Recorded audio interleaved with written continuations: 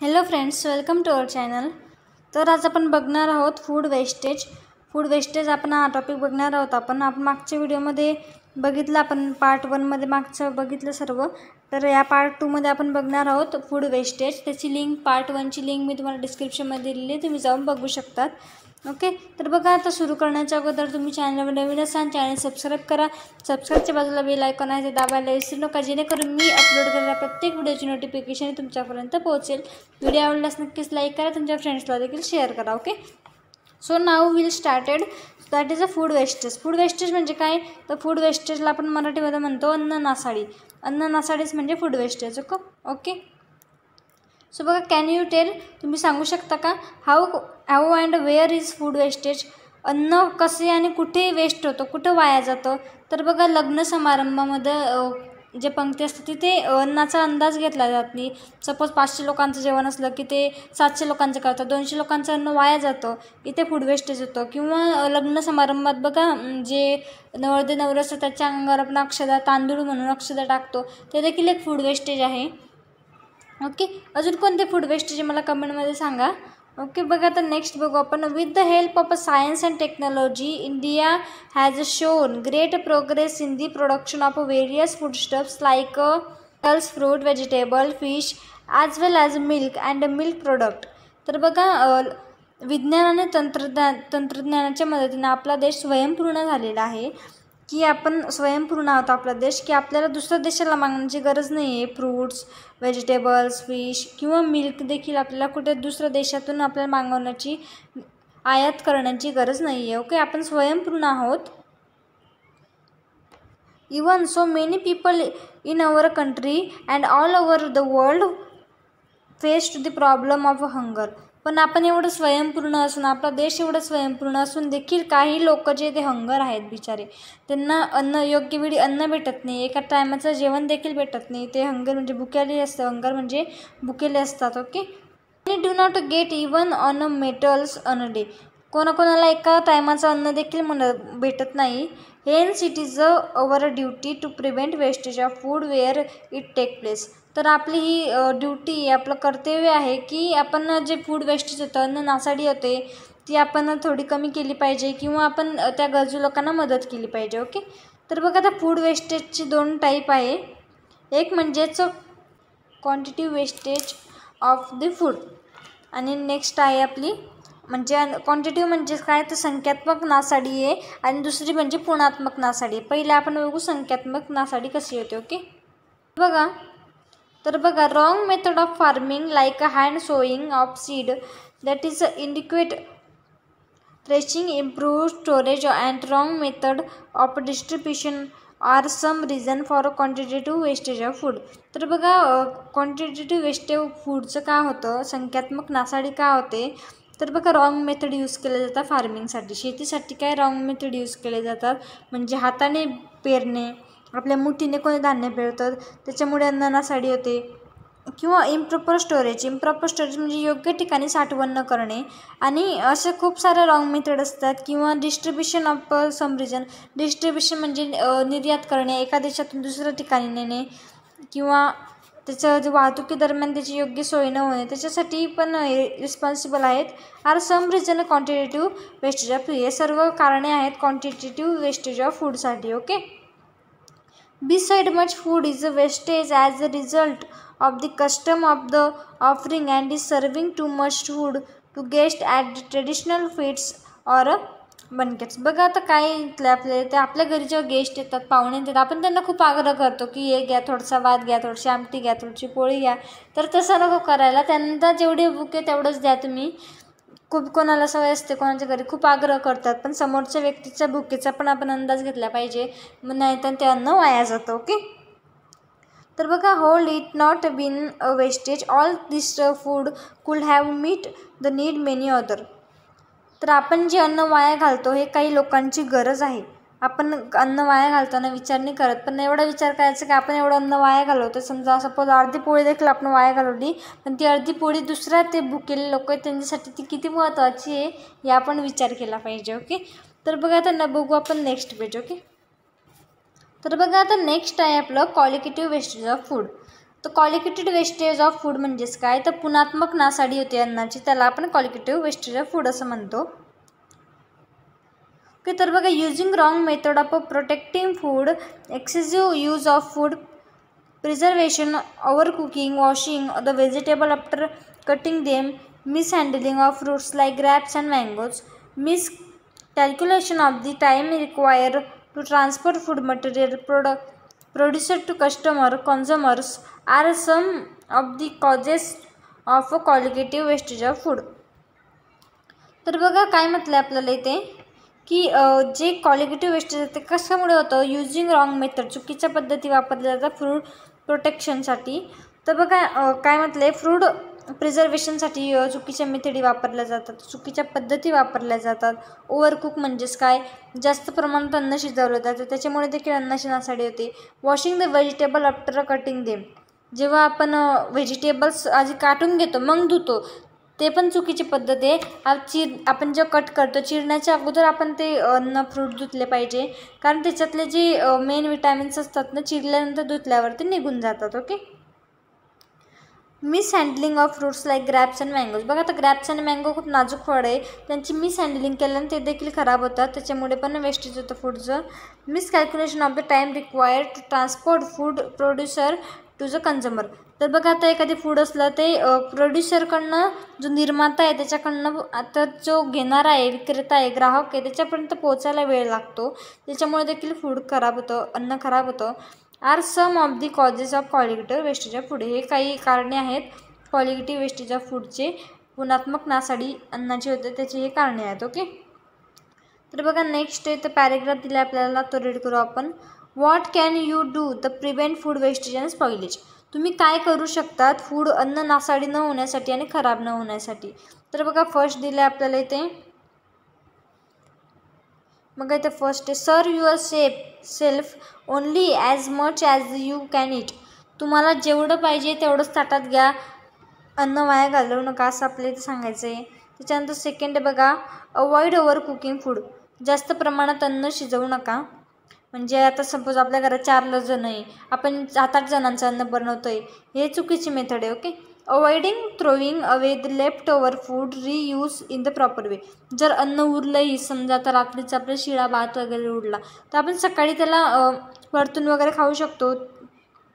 हे रियूज करा जर ते रियूज करण्यासारखं असलं तर आपलं दूध वगैरे बघा दूध वगैरे फाटतं खराब होतं त्याचे आपण छान रसगुल्ले बनवू शकतो रसमलाई बनवू शकतो किंवा कलाकंद बनवू शकतो असे नवीन नवीन पदार्थ आपण त्याच्यापासून बनवू शकतो. तर बघा आता फोर्थ आहे buy only as much grains vegetables fruits milk etcetera as you need avoid tem temptation to make excessive purchase तर बघा काय ते तुम्हाला जेवढं हवं आहे तेवढंच बाय करा. तेवढंच विकत घ्या. आपले अन्नधान्य गहू तांदूळ वगैरे किंवा भाज्या फळे दूध. आता सपोज तुमच्या घरात चार जण आहे. तुम्ही जर आठ डझन केळी आणणार तसं ते व्यवस्थित नाही वाटणार. म्हणजे एका डझनमध्ये बारा केळी येतात. तेवढे केळीचं काय करणार? पण बाकीचे केळी खराब होतील ओके ओके तर avoid temptation to the make excessive purchase आपल्याला जास्त हवं नसतं ते म्हणजे जास्त अतिप्रमाणात विकतही घेऊ नये. त्याच्यानंतर बघा five number store grains other perishable fruit stuffs like vegetable fruits milk etcetera using proper method हे जे फ्रूट्स व्हेजिटेबल्स किंवा food other food stuff meals यांचे प्रॉपर मेथडने यूज करा। त्याच्यानंतर बघा आहे check the expiry date of the bottled canned pack food and use within the type कोणतीही बॉटल किंवा एखादी पॅक कुरकुऱ्याचं पॅकेट वगैरे असतो काहीतरी हवाबंद पाकिट म्हणतो आपण त्याला किंवा कॅन असते थम्सअपची वगैरे बॉटल असते. तर बघा त्याची जी एक्सपायरी डेट आहे ना ते चेक करून घ्यायची आधी. आणि त्याची एक्सपायर होण्याच्या आधीच ते वापरायचं ओके त्याच्यानंतर बघा सेवन नंबर काय? Eat all the foods that you have the serve yourself तुम्ही स्वतःला जेवढं अन्न वाढलेलं आहे किंवा तुमच्या ताटात जेवढं सर्व केलेलं आहे तेवढं संपूर्ण फिनिश करायचं संपूर्ण अन्न खायचं वाया घालवायचं नाही असं आपल्या इथे याच्या आठवण सांगायचं होतं. बघा एक नेक्स्ट बघितलं ऑब्झर्व अँड डिस्कशन तुम्हाला निरीक्षण करून चर्चा करायची. What can we do? Avoid use of the rice grains as akshata and prevent wastage of food during wedding feast तर बघा आता लग्न समारंभामध्ये अक्षदा टाकतात. अक्षदा म्हणजेच तांदूळाच्या रूपामध्ये अक्षदा टाकतात. किंवा वेडिंगमध्ये म्हणजे लग्नामध्ये किंवा इतर कार्यक्रमांमध्ये फूड वेस्टेज होतं. की जास्त स्वयंपाक होतो. ते जे बनवणारे असतात आचारी वगैरे त्यांच्याकडून जास्त प्रमाणात अन्न शिजवलं जातं. तर याच्यावर काय उपाय आहे? तुम्ही मला कमेंटमध्ये नक्की सांगा. ओके की तर बघा इथे एक चार्ट दिलेला आहे आपल्याला. काय बघा तो चार्ट हे बघा चार्टमध्ये काय दिलं आहे आपला सिक्स्टीन ऑक्टोंबर. सोळा ऑक्टोंबर हा आपला वर्ल्ड फूड डे असतो. अन्न सुरक्षा दिवस म्हणून आपण हा साजरा करतो. To work towards the food security and avoid food wastage या दिवशी आपण काय करतो? जे अन्न आहे त्यांची सुरक्षा करतो आणि वाया घालवण्यापासून आपण वाच वाचवतो. कोणत्या दिवसाला? Sixteen October. लक्षात ठेवा. ओके? तर बघा आता नेक्स्ट बघू आपण. Food storage and preservation storage and preservation हा टॉपिक आता बघू आपण. ओके तर बघा आता food storage and in preservation food कसं स्टोअर करतं आणि त्याचं प्रिझर्वेशन कसं करतो आपल्याला हे बघायचं we have learn about the various method of safe storage of food like freezing drying boiling airtight packing etcetera तर बघा आपण खूप साऱ्या मेथड लर्न केलं आहे. त्याच्यामध्ये बघा काय आहे? की फ्रीजिंग फ्रीजिंग म्हणजे गोठवणे थंड करणे ड्राईंग म्हणजे वाळवणे बॉइलिंग म्हणजे उकळणे एअरटाईट पॅकिंग म्हणजे हवाबंद पॅक करायचं. म्हणजे आपण बघतो कुरकुरे किंवा चिप्स पोटॅटो पेपर्स खातात तुम्ही. त्याचे जे पॉकेट्स असतात ते कसे असतात? एअरटाईट पॅक असतात. जे नायट्रोजनस गॅस असतो. त्याच्यामुळे ते चा योग्य टिकतात ते. खूप काळ. This different method prevent the growth of microorganism in the food thereby save food from the spoiling तर बघा आता हे जे खूप मेथड आहेत ना या बॉइलिंग फ्रीजिंग बॉइलिंग किंवा एअरटाईट पॅकिंग याच्यामुळे काय होतं की ते मायक्रो ऑर्गॅनिझम असतात ना सूक्ष्मजीवांची वाढ होत नाही जास्त. ग्रोथ ऑफ मायक प्रिव्हेंट प्रिव्हेंट म्हणजे थांबवणे. ते जे मायक्रो ऑर्गॅनिझमची वाढ थांबवतात इन फूड अन्नामध्ये. देअर बाय त्याच्यामुळे काय होतं फूड स्पॉईल होत नाही ते फूड खराब होत नाही ओके त्याच्यानंतर बघा food protection and food preservation त्याचे आपलं दोन मेथड दिलेलं आहे. एक म्हणजे फूड प्रोटेक्शन आहे आणि दुसरं आहे फूड प्रिझर्वेशन ओके तर बघा एक एक बघू आपण आता. तर बघा फूड प्रोटेक्शन म्हणजे काय? तर अन्न अन्नाची सुरक्षा आपण म्हणतो त्याला. Prevention of the food spoilage by the microbial growth and infections by the pest is called a food protection तर बघा सूक्ष्मजीवांची वाढ होते काही कारणामुळे वेगवेगळ्या कारणामुळे सूक्ष्मजीवांची वाढ होते. किंवा कीड देखील लागते अन्नाला त्याच्यापासून अन्न खराब होतं.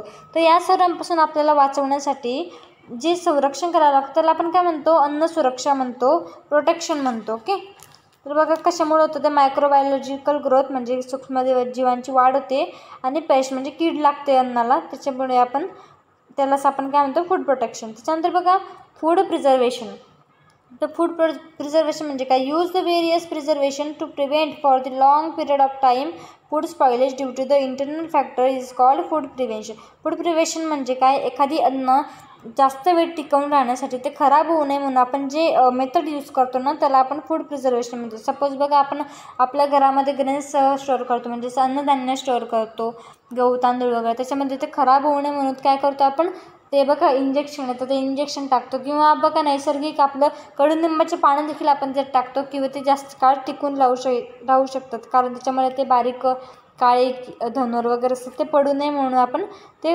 प्रिझर्वेशन झालं फूड प्रिझर्वेशन झालं ओके तर बघा आता बघा इथे चार्ट दिले आपल्याला national institution okay food and drugs administration म्हणजेच काय? This is the government organization that control producing production and distribution of foods and drugs by their standardization food safety अँडर Standardization Authority of the India FSSIA has been the established as per the Food Safety and Standardization at two thousand six तर बघा काय म्हटलं आपल्याला इथे? तर बघा हे जी संस्था आहे ना नॅशनल इन्स्टिट्यूशन म्हणजे काय संस्था आहे ती फूड अँड ड्रग्स ॲडमिनिस्ट्रेशन ती एक संस्था आहे गव्हर्मेंट आहे ती. तर बघा ती काय करते ती जी संस्था आहे ती काय करते अन्न आणि औषध प्रशासन आहे ती. आपण मराठीमध्ये काय म्हणतो अन्न आणि औषध प्रशासन. ते जी ते कंट्रोल करतं फूड प्रोडक्शन फूड प्रोडक्शनला कंट्रोल करतं किंवा जास्त प्रमाणात ड्रग्स ड्रग्स म्हणजे काय ड्रग्सला औषधी म्हणतो आपण. अति प्रमाणात औषधी मेड नये म्हणून ते तयारी करत होता फूड सेफ्टी अन्न सुरक्षेसाठी देखील त्यांची एक संस्था आहे F S S S A I त्याचं शॉर्ट फॉर्म आहे. बघा त्याची जी स्टार्ट आहे ती संस्था केव्हा सुरू झाली? ॲट टू थाउजंड सिक्स दोन हजार सहाला ती सुरू झालेली. बघा ते वेबसाईट दिली तुम्हाला. तुम्ही तिथे जाऊन चेक करू शकतात ओके तर बघू आता आपण नेक्स्ट पेज नेक्स्ट पेज बघू आपण. त्याच्यात काय दिलं आपल्याला? मेथड ऑफ फूड प्रोटेक्शन अन्न सुरक्षेसाठी काहीतरी मेथड्स आहेत.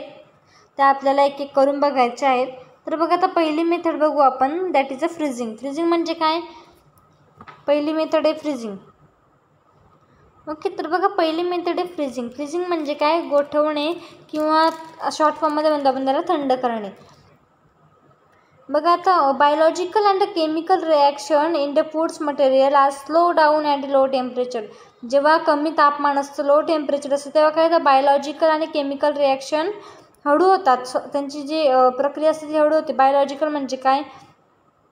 सूक्ष्मजीवांची वाढ कमी होते केमिकल रिॲक्शन म्हणजे रासायनिक अभिक्रिया देखील कमी होतात स्लो होतात त्या low टेम्परेचरमध्ये as a result food remains is good condition for a longer duration that why refrigerator are use in kitchen तर बघा याच्यामुळे काय होतं जे फूड असतात ना ते जास्त काळ टिकतं त्याच्यासाठी आपण काय करतो घरामध्ये आपल्या किचनमध्ये रेफ्रिजरेटर यूज करतो. रेफ्रिजरेटर म्हणजे फ्रीज म्हणतो आपण त्याला. प्रत्येकाच्या किचनमध्ये फ्रीज असेलच. ओके तर बघा आता नेक्स्ट बघू आपण use of the inert gas inert गॅसचा यूज कसा करतात? म्हणजे इनर्ट गॅस म्हणजेच काय? निष्क्रिय वायू आपण म्हणतो त्यांना. तर बघा nitrogenous gas is the fill in airtight pack of potato wafers and other foods product thus prevention the growth of a fungus and insect in them तर बघा आता नायट्रोजनस गॅस आपण जे एअरटाईट पॅकिंगचे फूड खातो बघा तुम्ही पोटॅटोचे वेपर्स खात असाल किंवा ते चिप्स वगैरे खात असाल त्याच्यामध्ये काय हवाबंद पॉकेट असतं ते. ते हवा कशाची असते म्हणजे ते नायट्रोजन गॅस असतो. नायट्रोजन गॅस काय करतो? जे अन्न आहे त्याच्यात ते खराब न होण्यासाठी मदत करतो okay?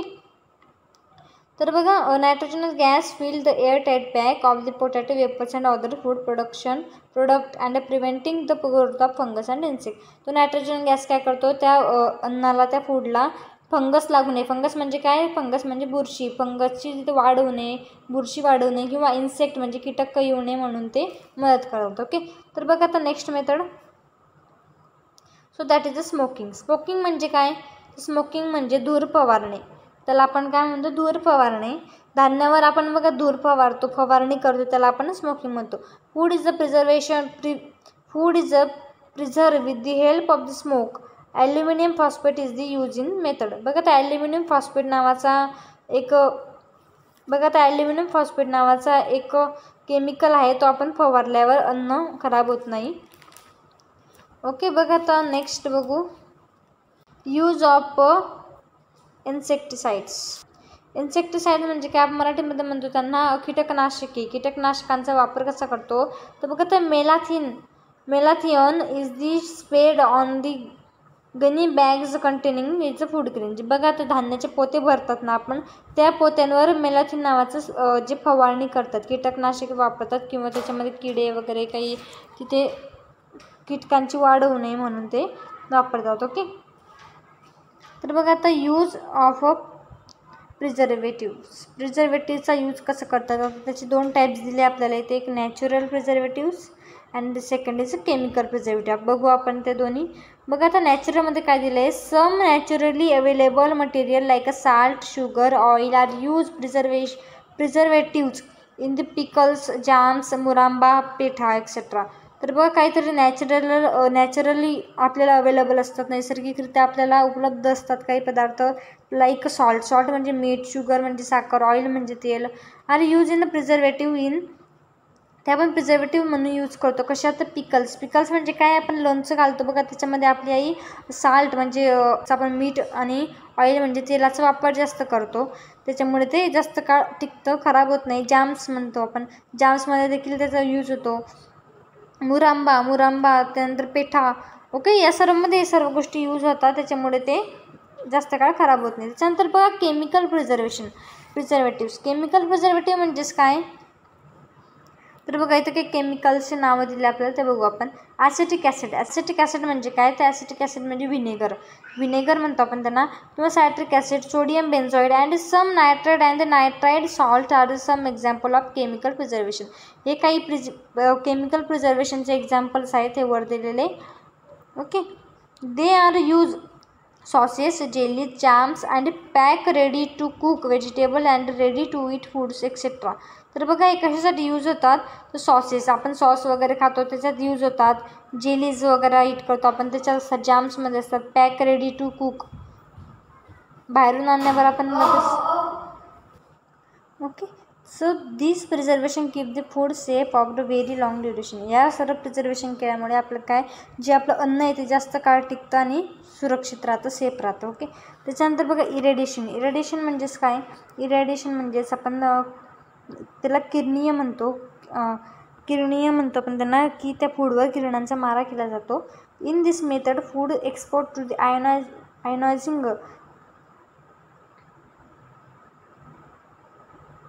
radiation such as high energy electrons emitted by ॲक्सेले acceleration X rays gamma rays emitted by the radioactive isotopes etcetera तर बघा या मेथडमध्ये काय करतात? जे हायली चार्ज हायली एनर्जीवाले इलेक्ट्रॉन्स असतात. त्यांना आपलं इमिटेट करायचं असतं. कशामुळे? कशापासून इमिटेट करतो आपण? त्यांना ॲक त्यांना ॲक्सिलरेटर्स एक्स रेज म्हणजे क्ष किरण gamma rays emitted by radio isotopes okay this process destroy the microbes insects etcetera हे प्रोसेसमुळे काय होतं? जे मायक्रोब्स असतात किंवा इन्सेक्ट्स असतात सूक्ष्मजीव किंवा कीटक वगैरे असतात ते डिस्ट्रॉय तर नष्ट होतात. Okay shelf of of a fruit due due to the increase of in a period. Period the life life the potatoes of onion increase due to the slow down in the sprouting बघा आता जे आपले कांदे किंवा बटाटे असतात त्यांना कोंब वगैरे येतात. त्यासाठी काय करतात?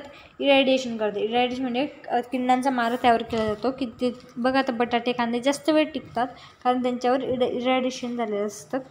किरणीकरण झालेलं असतं okay?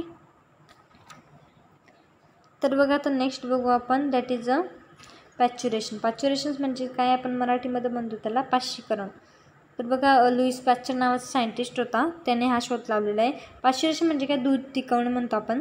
The method involve heating of the milk or other similar foodstuffs up to the certain temperature example milk at eighty degree Celsius for the fifty minute and cooling in quickly तर बघा आता या मेथडमध्ये काय करतो आपण? दुधासारखे पदार्थ जे असतं ते काही टेम्परेचरवर आपण गरम करतो. विशिष्ट टेम्परेचर गरम करतो. बघा आता एक्झाम्पल मिल्क दे आपलं दूध आपण काय करतो? ऐंशी डिग्री सेल्सिअसपर्यंत गरम करतो. ते पंधरा मिनटापर्यंत आपण गरम करतो. त्याच्यानंतर लगेच आपण कुलिंग करतो. लगेच आपण थंड करतो त्याला. बघा आता आपल्या आई दूध गरम केल्यावर काय करते? खाली पातेल्यात थंड पाणी घेते आणि ते ते दूध त्याच्यात ठेवते okay this destroys the microbes present in the milk and keeps for a longer duration त्याच्यामुळे काय होतं जे दुधामध्ये मायक्रोब्स असतात सूक्ष्मजीव असतात ते डिस्ट्रॉय होतात. आणि दूध हे आपल्याला जास्त कालावधीपर्यंत टिकतं ओके बघा आता नेक्स्ट डू यू नो तुम्हाला माहीत आहे का? तर बघा in Maharashtra irradiation plants have been install at Lasalgaon for onion and potatoes and Navi Mumbai for spices and condiment condiments. बघा आता काय म्हटलं आपल्याला महाराष्ट्रामध्ये नाही का लासलगाव नावाचं गाव आहे नाशिककडं आहे ते. तिथं काय केलेलं आहे एक संस्था म्हणजे एक नाशिककडे किरणांचा मारा करण्याचे एक केंद्र उभारले गेलेलं आहे.